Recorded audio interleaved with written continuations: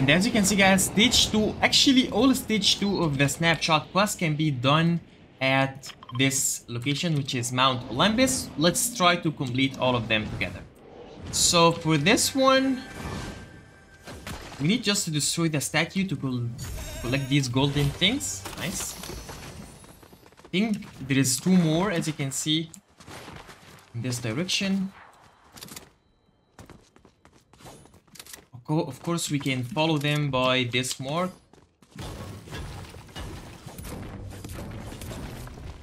Okay.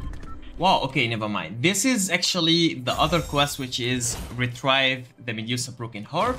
We done it. Now, we need also to collect this one, which is related to destroy, uh, sorry, to collect the crackling hourglass.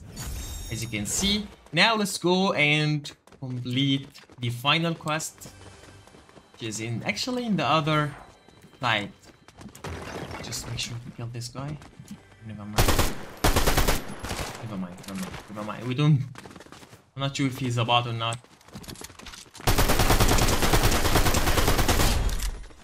Okay, and we gotta destroy this one as well, so we can collect it.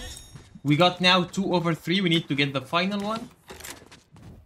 Mo most likely it will be in the other side of the map. Okay. We are at the other side of the map, as I said. And it should be here. Destroy it. And collect it. Easy.